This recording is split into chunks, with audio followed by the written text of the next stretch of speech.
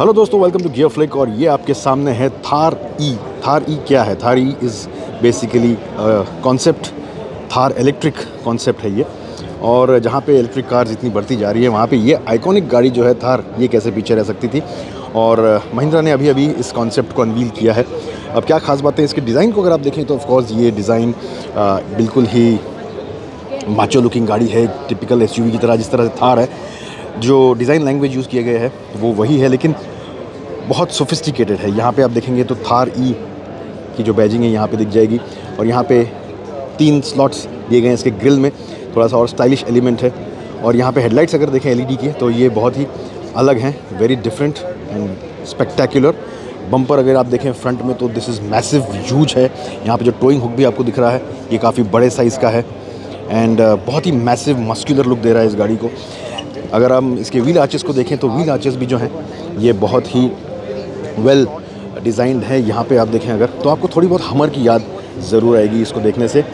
और wheel arches black colour में है, और ये दे आर टू पीसेज ये दो सेपरेट पीसेज हैं। यहाँ पे टायर को देखें तो ये 18 इंच का व्हील है, और बहुत ही बड़े साइज़ के टायर हैं ये ब्लॉक पैटर्न के टायर्स हैं। और यहाँ पे इसके व्हील पे भी आपको थार ई e की बैजिंग मिल जाएगी। 18 इंच का व्हील है ये, जैसे मैंने बताया and this looks very good और क्योंकि टायर का एस्पेक्ट रेशियो ज़्यादा है तो ये बॉडी को भी काफ़ी भर दे रहा है और ये काफ़ी अच्छा लग रहा है। यहाँ पे आप देखें तो रीबॉर्न इलेक्ट्रिक की बैच जो है ये दिख जाएगा क्योंकि ये महिंद्रा का एक टर्म है जो कंपनी यूज़ करती है अपने इलेक्ट्रिक गाड़ियों पे।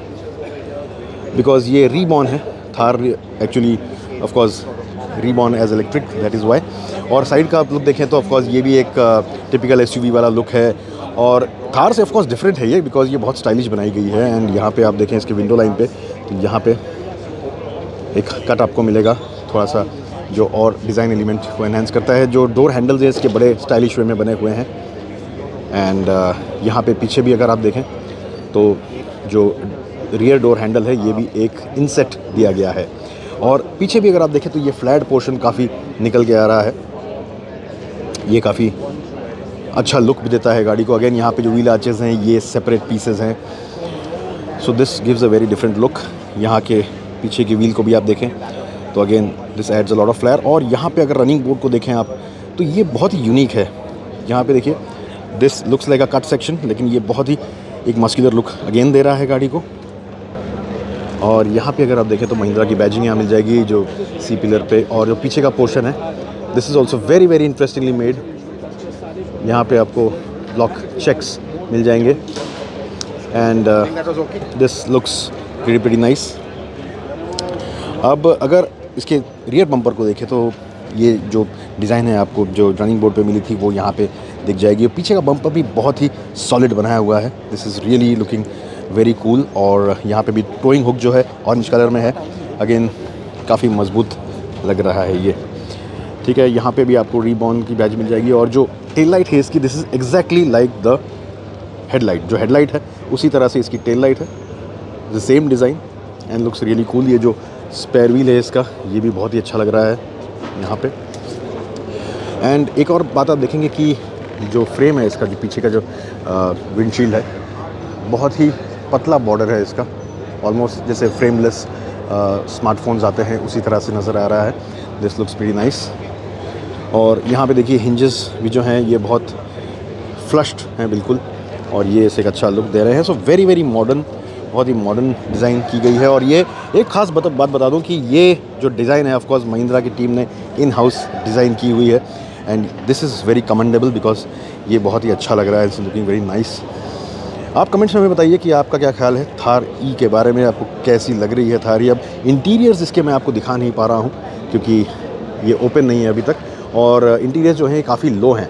तो मैं आपको बाहर से भी नहीं दिखा पा रहा हूँ, यानी कि ये जो इसका जो आपको विंडो लाइन दिख रही है, जो इंटीरियर्स हैं, इसके काफ़ी नीचे तक हैं। सो यू नो ये वैसे तो बड़ी है, लेकिन काफ़ी लो सेट इंटीरियर्स हैं तो आपको मैं ज़्यादा दिखा नहीं पाऊँगा। कोशिश करता हूँ कि आपको कुछ दिख जाए, लेकिन यहाँ पे दिखना थोड़ा सा मुश्किल है अंदर, क्योंकि ये डार्क है, ये इसका स्टेयरिंग व्हील है। अगर आप ध्यान से देखें तो ये इसका स्टेयरिंग व्हील है। यहाँ पे आपको दो स्क्रीन्स मिल जाते हैं।